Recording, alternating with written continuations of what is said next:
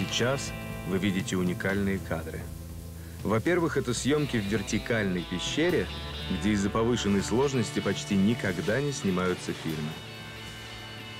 Во-вторых, эта пещера, пещера Веревкина, самая глубокая в мире на сегодняшний день. И сейчас мы с вами впервые спустимся в нее на глубину 2212 метров. Вместе с ее первооткрывателями, российскими спелеологами.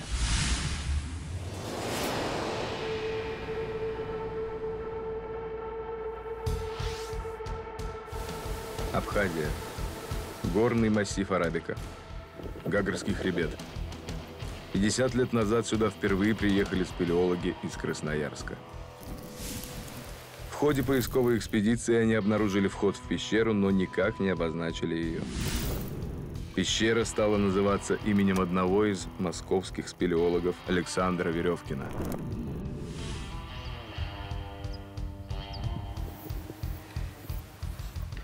Нам пришлось побросать все вещи, взять самое ценное, то есть быстро самим собраться, одеть все снаряжение. Ты понимаешь, что вот они просто там люди под землей, а их заливают сверху. Вода поднялась в колодце до этой галереи и хлынула на меня потоком, то есть огромная река. Сбила меня с ног, начала крутить по этому залу. У нас осталось 15 минут на то, чтобы выбежать. То есть через 15 минут лагерь был уже затоплен.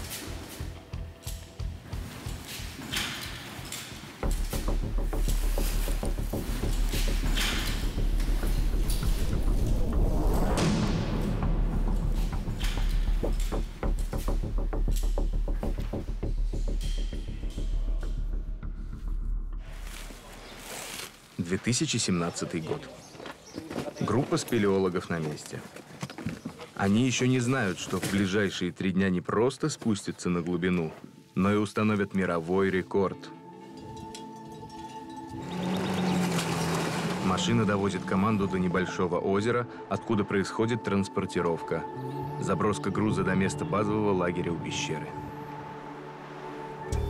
Так как большая часть снаряжения уже развешана в пещере, предыдущих экспедициях, команда идет налегке. Несмотря на это, мешков достаточно много, так что группе приходится идти около 4 часов, чтобы перенести весь необходимый груз. Ни один из спелеологов в мире такого, э, такого не испытывал, потому что ты идешь по пещере, она не заканчивается и не заканчивается.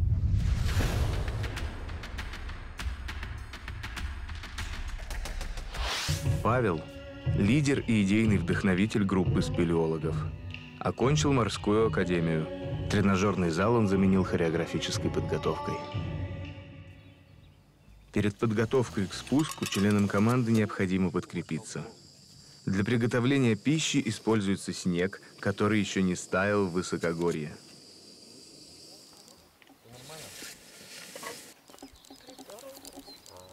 Команда собирает необходимое снаряжение и проверяет, все ли на месте. Батарейки, спальные мешки, теплые вещи. В пещере обязательно потребуются запасные карабины, баллоны с газом, сменное белье. Вся еда и вещи пакуются в специальные мешки и взвешиваются. Ну, 13,7. Отвалили несколько камней руками, без всяких кувалд. И вышли, ну как, проползли в такой небольшой ход. Такой извилистый ход, узкий достаточно. Мы все были худые тогда.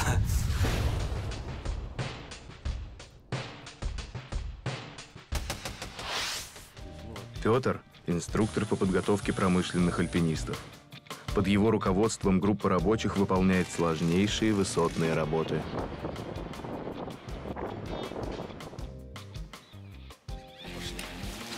Перед основным спуском группа совершает первый акклиматизационный выход.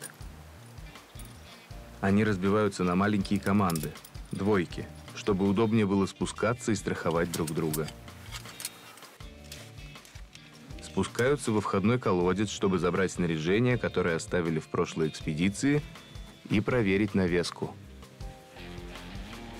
И когда я начинался, да, мне было тоже интересно, смогу ли я сделать так, чтобы мне эта среда не чужда была, чтобы она во мне дискомфорт не вызывала.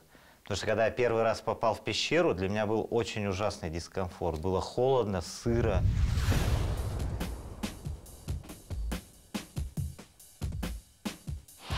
Константин. Познакомился со своей супругой Анной в одной из первых экспедиций в Абхазию.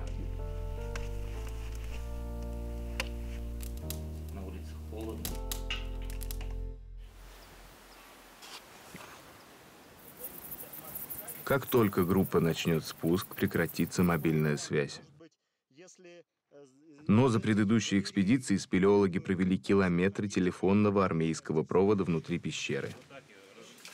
Связь между лагерями осуществляется с помощью специальных телефонов. Размотали первых 500 метров провода. Сейчас с, Ростемихи дальше пойдем. Прием.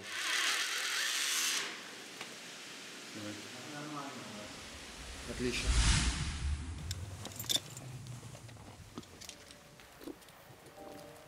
Они спускаются сюда не в первый раз и уже установили контакт с пещерой. В предыдущих спусках пещера открывала им новые пути. Каждый новый спуск рождал новые маршруты. Именно поэтому команда так увлеклась этой пещерой. Для меня вот лично драйвом было то, что впереди. То есть то, что я понимал, что пещера вся впереди, что ее нужно исследовать, и что нас что-то ждет такое впереди. В 80-х годах Перовский клуб провел ряд экспедиций, нашел продолжение пещеры и углубил ее до 420 метров.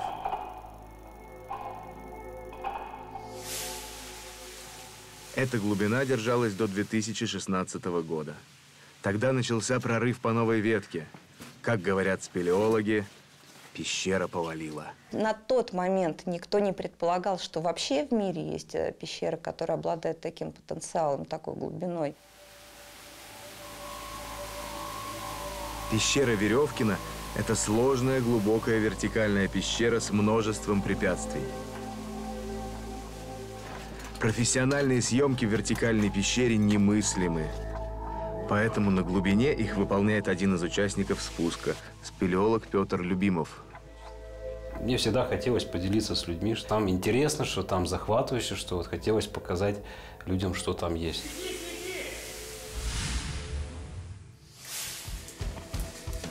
В пещере много колодцев, вертикальных участков с отвесными стенами, прохождение которых возможно только по веревке.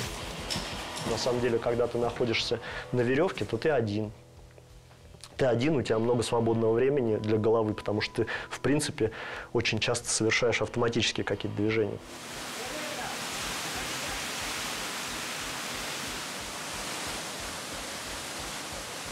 Мы идем по пещере уже около 4 часов и прошли всего, спустились всего на 300 метров. Но при этом это самый сложный участок пещеры, потому что где-то буквально через 100 метров начнется широк- широкие колодцы, Как правило, колодцы чередуются горизонтальными ходами – меандрами. До глубины 400 метров эти меандры очень узкие и проходятся очень тяжело. Такие узости называют шкурниками, поскольку их приходится преодолевать ползком, продираться, словно сдирая с себя шкуру.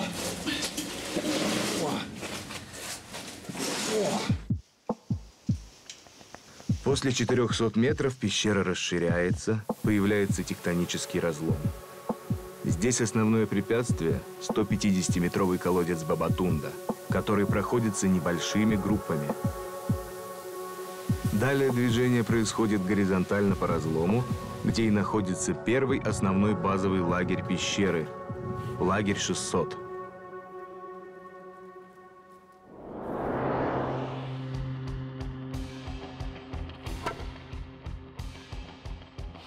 Палатка, коврики, посуда, запас еды и газа уже находятся в лагере. После лагеря 600 пещера также развивается вертикально. Несколько колодцев, горизонтальный меандр и следующий резервный лагерь 1000. влажный и некомфортный. Такие лагеря используются изредка на случай затопления. Тем не менее, спелеологи пытаются максимально обустроить комфорт. Например, изготавливают подушки для сна в условиях пещеры. Три рулона туалетной бумаги. Кладем их. Раз, два, один посередине. Сворачиваем. Добавляем наколенники для мягкости. Получившуюся конструкцию засовываем в наволочку из мусорного пакета. Уже следующий постоянный лагерь 1350 – основной.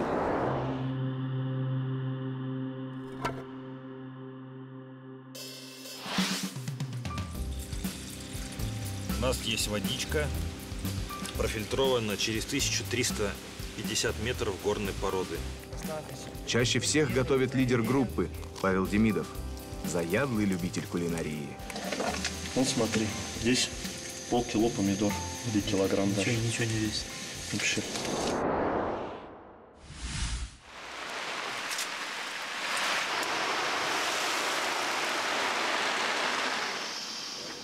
После, когда обжариваешь кабачки, полить их лимонной кислотой. Получается очень своеобразный такой кисло-сладкий вкус. Вот так.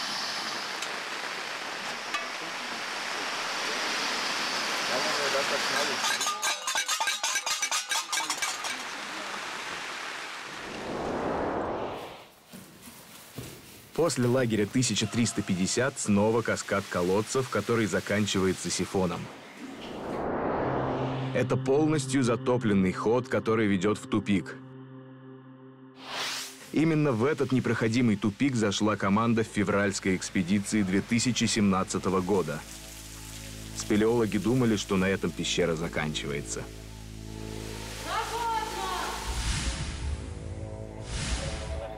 Февраль 2017 года. Прибыть к месту входа в пещеру в этот сезон можно единственным способом – на вертолете.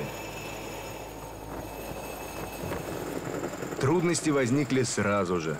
Маленький вертолет не может забрать большую команду с вещами и высадить на необходимой высоте выше двух километров. На этот раз команде повезло. Вертолет МЧС Ми-8 забрал команду.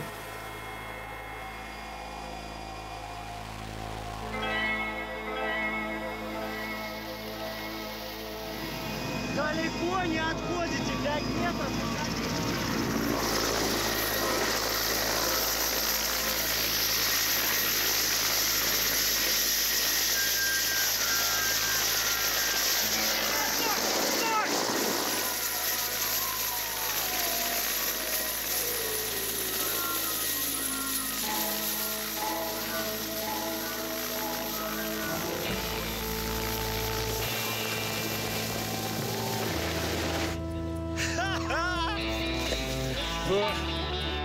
Буквально 100 метров переноса мешков, и команда во главе с Павлом Демидовым окажется возле пещеры.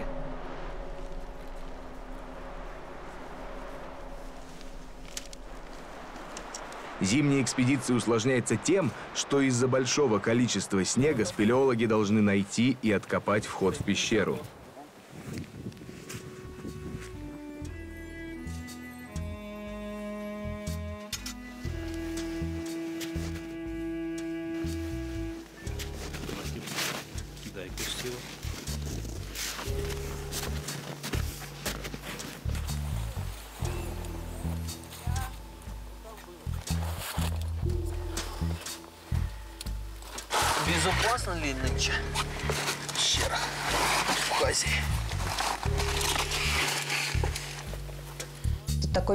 Куда хочется вернуться. Ни для кого же не секрет, что пещер много разных в разных а, уголках и России, и вообще мира. Но а, ощущение вот а, того а, веревкинского воздуха, м, оно, наверное, ну, лично для меня только там. Экспедиция оказалась очень успешной. Мы находимся где-то на 1600. Это первый раз моя такая э, глубокая пещера. Я думаю, она станет самой глубокой и ощущаю себя очень круто. Думал, будет страшно, но все окей. Идем дальше вниз. Когда пещера пошла, грубо говоря, основная задача была исследовать, открыть как можно больше новых участков, спуститься как можно глубже. Сначала команда уперлась в сифон, но на следующий день обошла его и вышла на новую глубину – 1832 метра. О, пещера. Офигеть. Пещера, вот идет. Не знаю, Китай. Там дальше ход. Пещера не закончилась. А, начались географические открытия. То есть мы там нашли какие-то новые ходы, наметки на то, что мы там сможем сделать что-то больше. А это интересно всегда. Денок, рассказывай, что видел. Электричества уже не осталось. Перфораторы разряжены. Теперь им нужно вручную развесить более 100 метров веревки на новом участке и возвращаться на поверхность.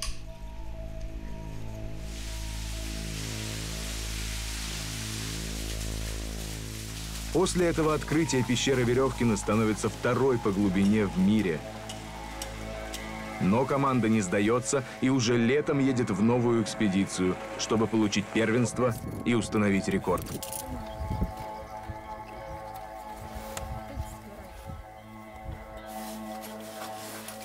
Группа действует продуманно и невероятно осторожно. Никто не верит в то, что из пещеры можно не вернуться.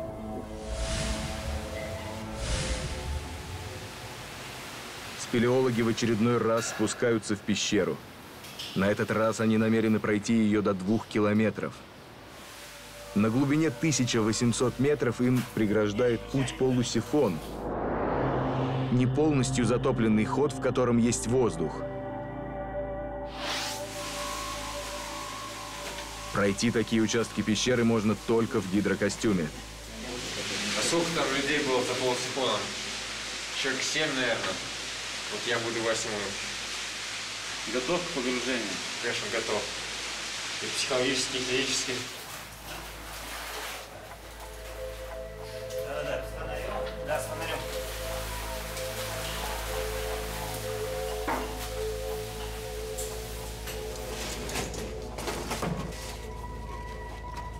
После прохождения полусифона и каскада вертикальных колодцев команда спускается в промежуточный аварийный лагерь 1900.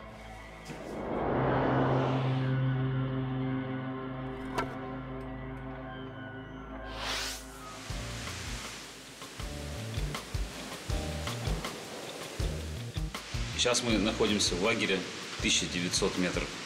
Пещера стала реально очень большая. То есть уже двумя лагерями мы никак не можем обойтись. Приходится устанавливать лагеря через каждые 400 метров. Далее идет широкий ход с песком, натечными стенами до глубины 2100 метров, где команда устанавливает самый нижний базовый лагерь.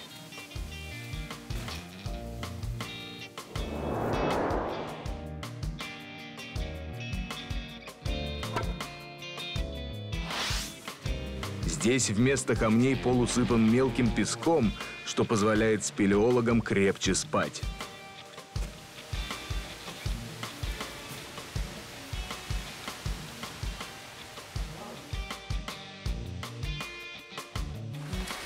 Песок, который у нас находится в нижней части пещеры Веревкина, это по своему химическому составу, это он отличается от породы, в которой мы, внутри которой мы находимся, то есть от стен под микроскопом при большом приближении.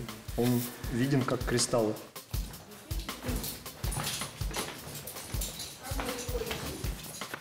Отсюда начинается самая интересная часть пещеры. Горизонтальный участок в форме лабиринта, общей протяженностью более 7 километров в сторону моря.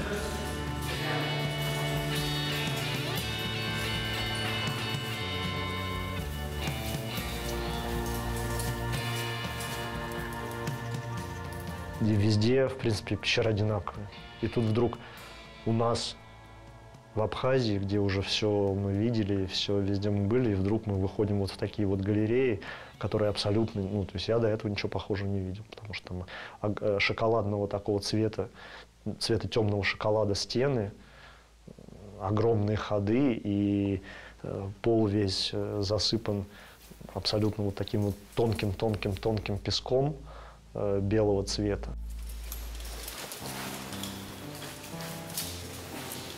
Идем сейчас исследовать сифон, самый дальний. Команда спускается в самую глубокую точку пещеры и планеты на сегодняшний день – Донный сифон. Осталось только измерить его, чтобы установить точную глубину. 2212 метров – это мировой рекорд. Да я тебя обниму, милый ты мой. Ну, рекорд не случается просто так, да, это результат, наверное, такого серьезного труда, веры э, в себя, в успех, в свое окружение, ну и в первую очередь э, тяжелый, кропотливый труд. Всего пять экспедиций потребовалось команде, чтобы пройти пещеру до самой нижней точки и установить рекорд.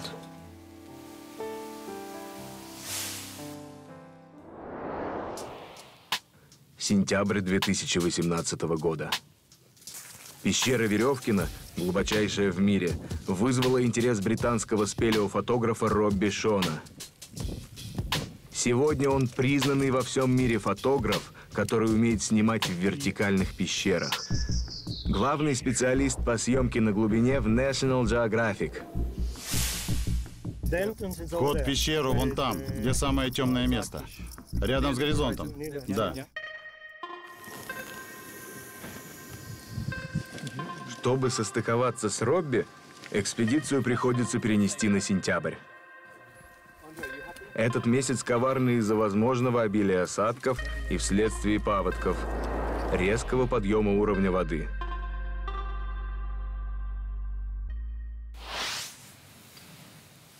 Спелеологи знают, что донная часть пещеры затапливается, и нужно быть аккуратными. Особенно в этот год – когда на Черноморском побережье прошли активные ливневые дожди. Но следов подтопления не видно, а в нижней части пещеры имеется огромный объем ходов – более 7 километров. Изначально, когда мы попали в эти донные лабиринты, мы вообще не думали, что там когда-то бывает вода, потому что она там не проявляет себя никаким способом. Спелеологи уже не раз видели затопление, им кажется, что даже из самой трудной ситуации есть выход – но опасность непредсказуема даже для такой опытной команды. 11 часов дня. Звонок из лагеря 1300. Двойка, которая уже выходит на поверхность, сообщает, что идет ударный паводок. Вся мощь воды проникает вниз в щели и полости. Через считанные минуты в тоннеле начинается рев, свист камней – Оттуда вырывается огромный объем воды, мощный водопад, который обрушивается в колодец в 50 метрах от стоянки. Мощная волна, и она как бы с таким звуком электрички, такая бух. Собрать лагерь и подняться на верхние уровни пещеры значит потерять три дня. Команда решает остаться и ждать, как будут развиваться события. Это пришел ударный паводок. На самом деле мы очень волнуемся, потому что наш, двое наших друзей сейчас идут к нам в лагерь. Главное, чтобы их не накрыло колодцы полусифоном, не в самом полусифоне.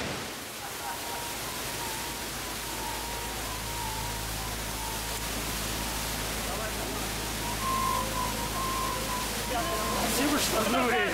Ну, мы Отраженная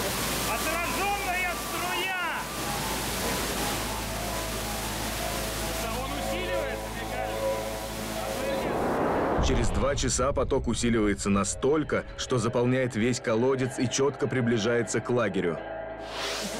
У спелеологов остается ровно 15 минут, чтобы надеть гидрокостюмы, снаряжение, взять самое ценное – спальники и горелки. Робби успевает достать флешки с фотографиями из камеры, но всю видеотехнику приходится оставить внизу.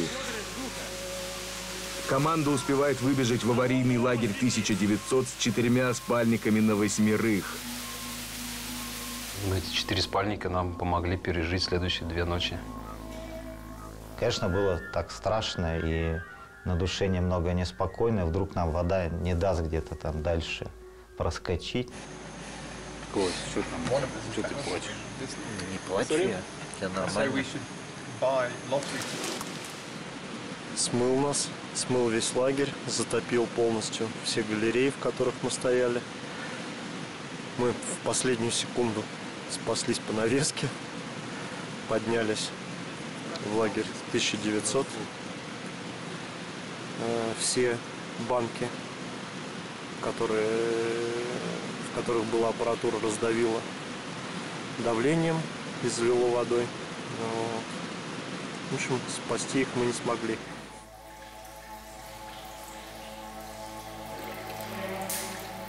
Команда поднимается на поверхность. Оказывается, в эту ночь прошел дождь десятилетия. Что чувствует жена спелеолога? Во-первых, она всегда это... Ты понимаешь, что ты человека не можешь не отпустить.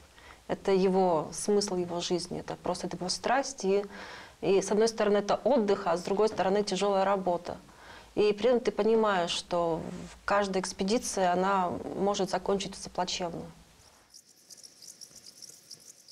Конечно, ждать вот э, известий, да, о том, что вот э, на момент выхода из пещеры, наверное, вот это вот самый такой вот момент м, такой острый. This camera was in the flood. Эта камера попала в паводок и погибла. Но лучше потерять камеру, чем наши жизни.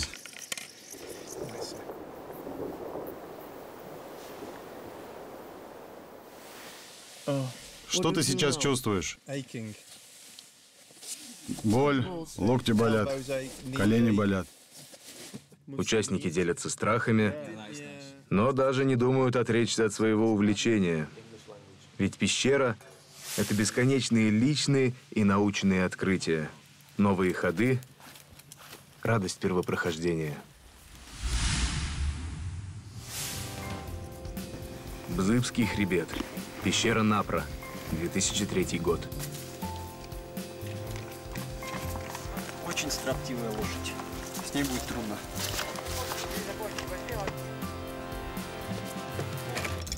Впереди у них 20 лет открытия неизвестных глубин. Веревочка для восхождения. Такая почти что новая. Один раз мы на ней сходили. То время никто из молодых людей не знает о том, что хобби останется с ними на всю жизнь и будет их основным пристрастием.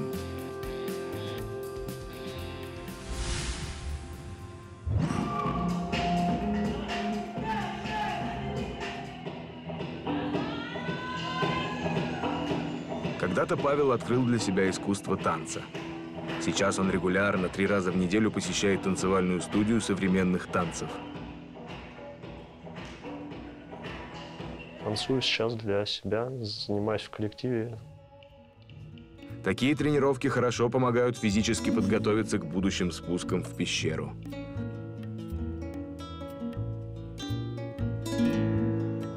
Все танцуйте.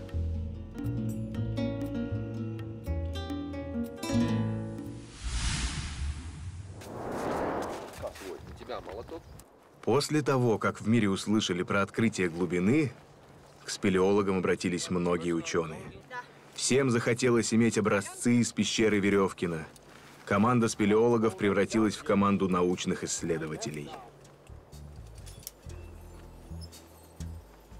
Теперь задача Павла и всей команды не только спорт. Глубочайшая пещера становится лабораторией по изучению окружающего нас мира, а Павел – сталкером между различными науками и культурами. На базе глубочайшей пещеры ученые могут реализовывать свои проекты. Спелеологи, собственно говоря, это исследователи, и мы понимаем, что, в общем, от точности и аккуратности нашей работы зависит, в общем, знание как бы человечества, знание наших коллег. Группа итальянских спелеологов прилетает в Москву, чтобы отправиться в пещеру Веревкина вместе с командой Перова Спелео. Chinese boxing.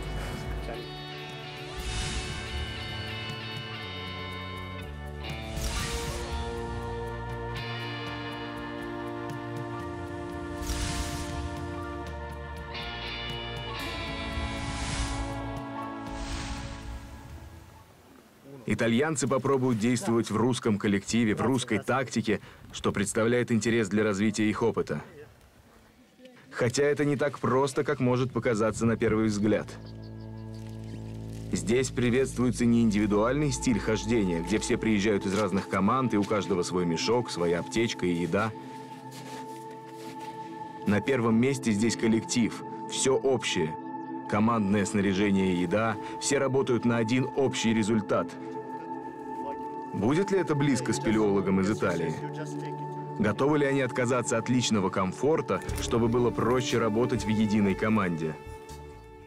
В пещере много уникальных живых существ. Итальянские коллеги вызвались помогать в сборе научных образцов. Павел объясняет им, как правильно это делать. Необходим специальный раствор и пробирки. If you notice any living creature road, Если заметите любое живое существо на пути, просто откройте пробирку, положите образец внутрь и закройте. Животных? Да, животных. Сюда помещаем рачков, скорпионов и пиявок.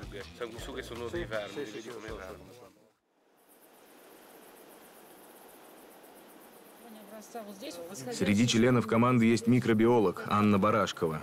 Она дает указания по сбору образцов с нескольких уровней пещеры. Пять. Соответственно, после того, как проба отобрана, пробирка подписана, все это уходит в пакет и больше не раскрывается. Павел собирает пробу микробиологии. Глина на камне представляет собой мелкие ворсинки. Исследования образцов микробиологии будут проходить по двум направлениям. Изучение подземной микрофауны и поиск новых поколений антибиотиков на основе грибов и плесени, которая обитает в пещере. Возможно, мы уже какую-нибудь э, в этих образцах грабиоты какую-нибудь бактерию, которая, не знаю, там э, будет есть марсианский грунт и вырабатывать из него чистое золото, там, или, не знаю, там какой-нибудь материал, из которого будут потом дома все на Марсе построены, или вода потечет.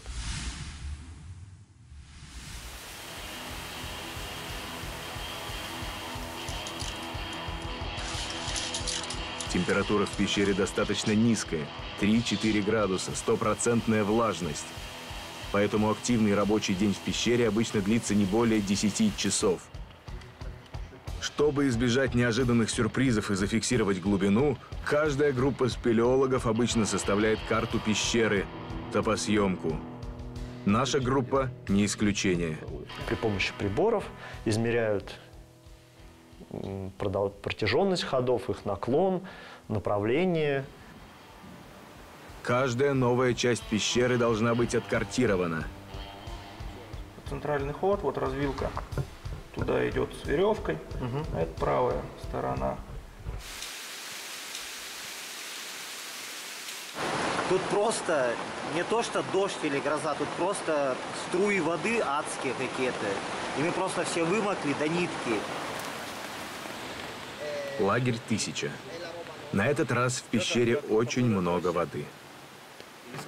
Фабио и Ромео собираются выходить обратно в лагерь 600. Фабио связывается с Франческо, который идет в другой тройке и еще не успел спуститься, чтобы договориться с ним о встрече. Фабио натер обвязкой бок так, что он больше не может нести мешки. Он чувствует, что идет слишком медленно. Ромео, чтобы не оставлять Фабио одного, как настоящий друг, пойдет с ним наверх. Спуск оказался слишком сложным. Они не ожидали, что будет так тяжело и непривычно работать в так называемой русской тактике. Большинство спелеологов, не только России, но и мира, не все физически способны спуститься на такую глубину. Итальянцы рады встрече в лагере 600.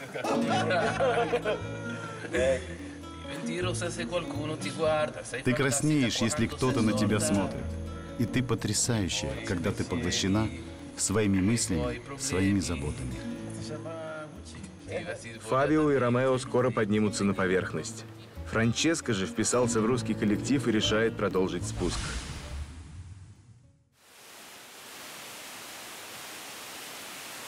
Зачем человек идет в пещеру? Исследование пещеры – это экстрим. Оно всегда сопряжено с риском. Ограниченное пространство, темнота, холод и сырость – условия не для слабонервных. Человек хочет что-то преодолеть всегда и превзойти либо самого себя, либо какие-то природные явления, либо соперничать с другими людьми. На каждом шагу опасность. Камнепады, узости, обводненные участки. Снаряжение уязвимо. От потери света ты не застрахован. Спелеология – это настоящее преодоление и узнавание себя. Мы спустились на дно, на самую глубокую точку пещеры веревки. Донный сифон. Для того, чтобы предупредить будущие паводки, в донной части пещеры спелеологи устанавливают логгер уровня воды. Прибор, который позволяет записывать давление в постоянном режиме. Начали более внимательно заниматься изучением гидрогеологии, именно локальной гидрогеологии вот этой нашей пещерной системы, потому что, собственно, это нам жизненно важно. С помощью измерений логгера спелеологи смогут понимать, доходит ли вода до лагеря 1900, чтобы не повторить опасности из недавнего прошлого. Ярославская область, город Барок, лаборатория РАН.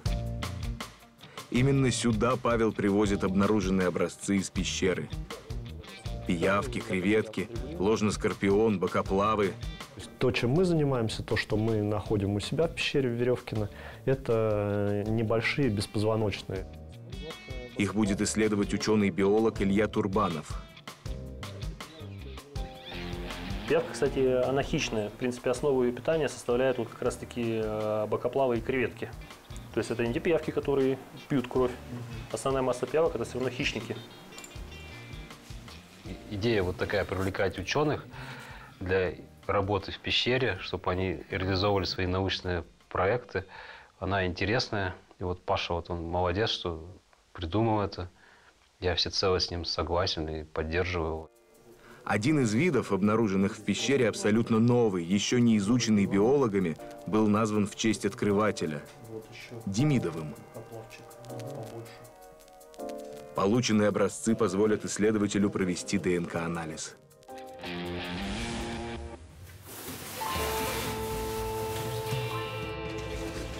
В этот раз к группе присоединились не только итальянские коллеги, но и фотограф-англичанин Робби Шон с помощником Джеффом Уэйдом.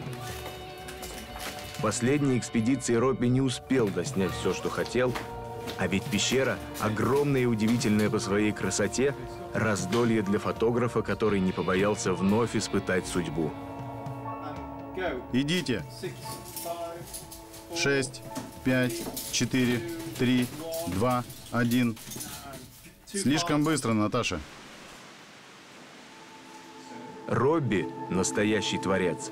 Он делает по 20-30 дублей, пока не получит идеальный кадр. Мы закончили. Хочу сказать, что Робби Шон в своей голове, конечно, такие картинки создает, которые нам и не снились. Просто это настолько потрясающе. Он настолько по-другому видит все, что здесь происходит в пещере. Просто настолько совпадает с моим каким-то внутренним ощущением. Какой, он- как он цвет сейчас здесь передал. Всех этих стен шоколадных. То есть это просто великолепно. Finally, we have finished the photograph. Наконец-то. Мы закончили. Сколько дублей? 78 батареек.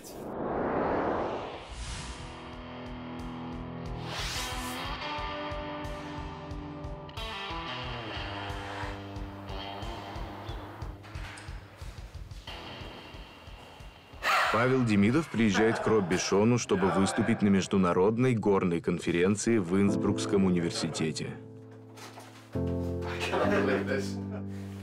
Не обходится и без подарков, забытых в пещере. Открывай глаза.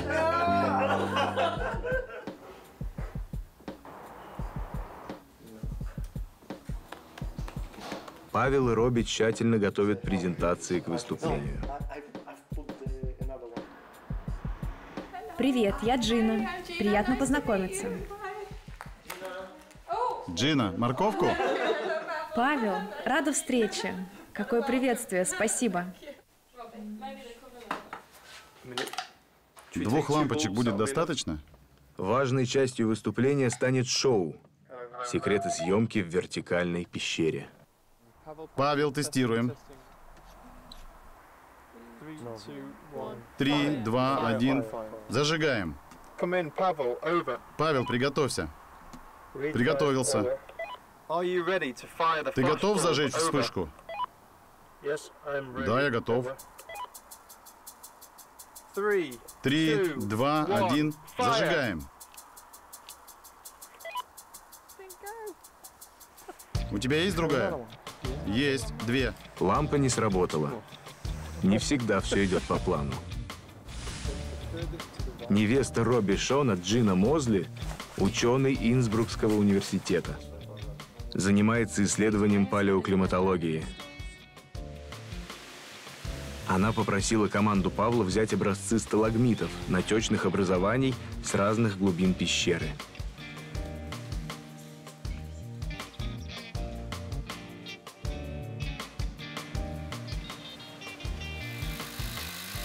Павел и Константин взяли два образца на глубине 600 метров и в донной части на глубине 2100. Сталагмит необходимо спиливать специальной технологией, подсверлить перфоратором и снять вместе с корнем. Павел привозит образцы сталагмитов в университет Инсбрука. По изучению слоев можно датировать возраст образования сталагмита и узнать, насколько был активен климат снаружи пещеры. Джин разрезает образцы, чтобы обработать и взять пробы.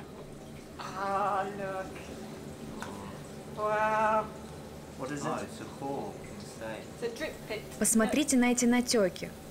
Очень красиво. Wow.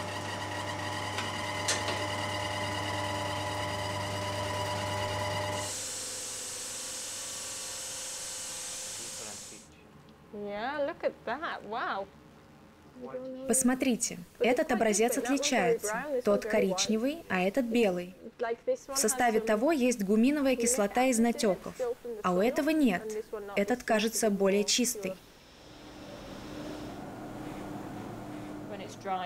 Джина поручает взятие пробы студенту-магистранту университета Джонатану Дегенфелдеру. Здесь более темная область, не отшлифованная. Пробы были отправлены в лабораторию США, где сделаны анализы и установлен возраст сталагмитов. Удивительно, что донный сталагмит из массивных реликтовых галерей оказался совершенно молодой, всего 2000 лет, в то время как возраст верхнего образца датируется 600 тысячами лет.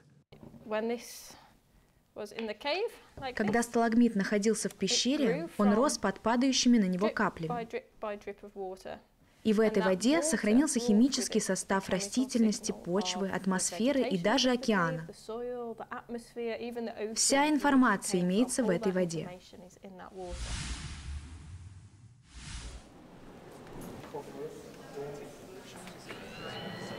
Павел вместе с Робби, конечно же, доехали до международной горной конференции в Инсбруке. Что особенно интересно в нашем открытии? То, что ниже 2000 метров существует очень сложная система лабиринтов. Три, два, один, зажигаем.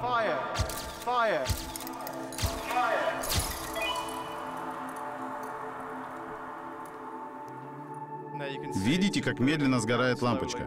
5 миллионов люминов на пике, а затем они рассеиваются. Из-за пандемии COVID-19 команда вынуждена менять планы. Экспедиции в пещеры на массиве Арабика летом 2020 года отменяются. Но Павел Демидов планирует все же выйти в первую доступную экспедицию с другой группой. 1 августа открывается граница с Абхазией. Глубина зовет. Павел присоединяется к спуску команды Кейвикс в пещеру Интеграл, расположенную к северу от пещеры Веревкина. В прошлом году мы нашли абсолютно новую пещеру. Три года мы здесь работали, ничего не могли найти сколь, сколь-либо значимого. А тут новая пещера, и сразу прошли ее до 200 метров. Поэтому в этом году решили обязательно оказаться, несмотря на сложную ситуацию с коронавирусом, оказаться в Абхазии, в горах, и именно в этой пещере. Трагедия случается уже на глубине 305 метров. Павел выходит к Меандру, последней исследованной точке пещеры, и отправляется обратно за веревкой. Его напарник Станислав Хомяков остается очищать уступ от опасных камней. Обеспокоенный долгим отсутствием Павла, Станислав возвращается. Павел стал жертвой обвала глины и камней. Пульс уже не прощупывался. Такая ситуация могла случиться тысячи раз с каждым из нас. То есть то, что произошло, это либо воля случая, либо просто что... Члены команды Кейвекс понимают, что втроем не смогут вытащить Павла из завала на поверхность. Они принимают решение собирать спасательную команду.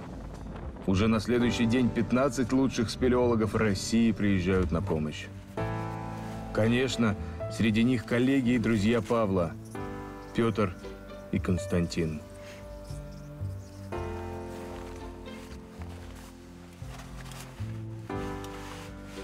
Он был придавлен большим камнем, величиной с холодильник примерно. И вдобавок высыпалось еще большое количество глины с камнями. Группа быстро закупает необходимое снаряжение. Около 200 килограмм. Уже на месте планируется график работы, запись ведется в специальный журнал. На помощь спелеологам прилетает группа спасателей МЧС Абхазии. Снега на поверхности практически нет, поэтому спасатели снабжают спелеологов водой. Сложно, да, конечно, 5-6 дней там только подготовка, чтобы к нему подойти, чтобы в первую очередь техника безопасности. В общем, себя надо обезопасить, чтобы его вытащить. Давай мы завтра... Завтра будем здесь работать, здесь работать вот тут работать. Перед группой стоит непростая задача. Необходимо вытащить Павла из завала так, чтобы больше ни один спелеолог не пострадал. Тянем. Стоп.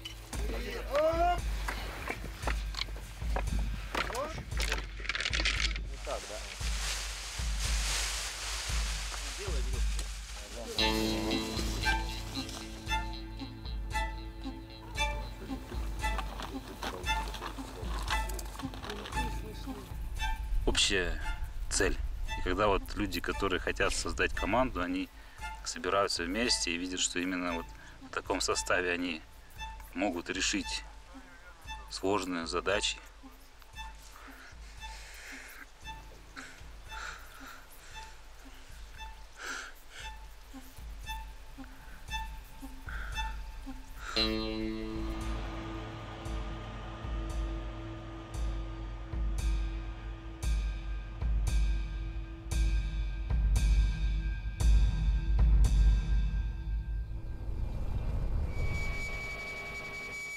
Вертолет МЧС Абхазии прилетает, чтобы безопасно перевести Павла на территорию России.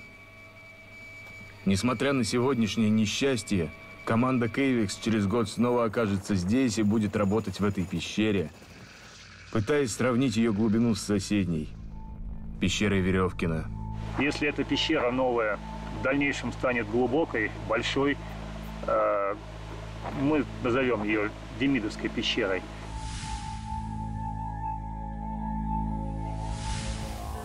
Пещера – одно из немногих мест на Земле, где ты можешь почувствовать себя настоящим первопроходцем. Самым первым человеком, который ступил на этот кусочек земли. Потрясающе, когда ты смог дойти до глубин не один, со своими коллегами. Невероятно, когда ты привел сюда тех, кто зафиксирует всю красоту и опасность подземного мира. И, пожалуй, исключительный случай постижения глубины – когда благодаря твоим усилиям пещера вдохновляет науку на новые исследования. Спасибо, товарищ. Благодаря спуску Павла Демидова и российской команды, которая скоро стала международной, пещера Веревкина открыла свои глубины всему современному миру. И вместе с тем она остается загадкой, приманивающей к себе первооткрывателей. Кто знает, кому она откроет новые ходы за пределами своей глубины.